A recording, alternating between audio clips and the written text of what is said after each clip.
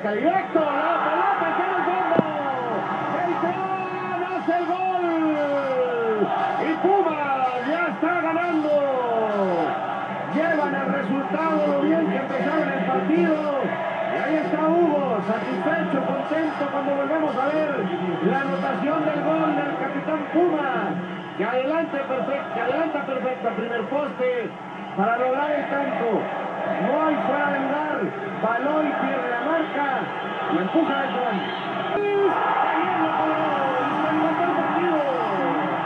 Se empató el partido. Así en 23 minutos estamos uno por uno. Muy polémico, pero muy bien cobrado el penal por Luis Pérez. Y muy bien tirado por Luis. ¿eh? Como tú lo pensabas, ya había fallado uno, pero es un especialista. Miren qué buena noticia, por lo menos aquí los goles han sido de mexicanos.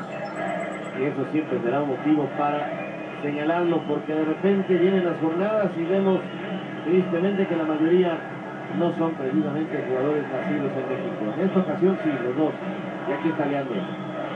Leandro que toca. Mancho va a llegar. Vamos a ver. Esquina de esquina. Marioni llegaba a una situación interesante. Los de Monterrey. Quédese en Televisa Deportes porque acabando este partido nos vamos a Aguascalientes de Caxa.